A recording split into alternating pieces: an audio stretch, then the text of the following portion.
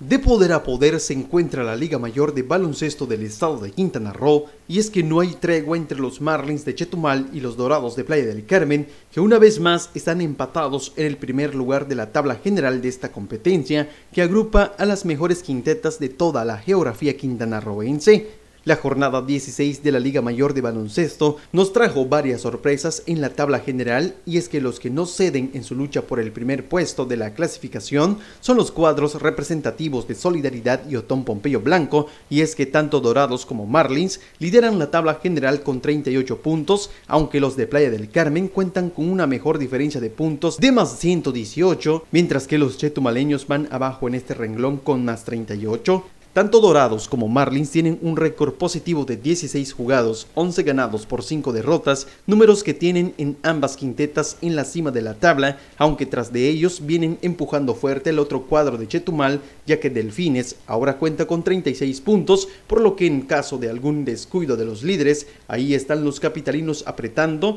ya que hay que destacar que esta quinteta tiene una serie jugada menos, es decir, le faltan dos partidos mismos que podrían aprovechar para alcanzar a los punteros. La información del básquetbol quintanarroense para Notivisión Deportes.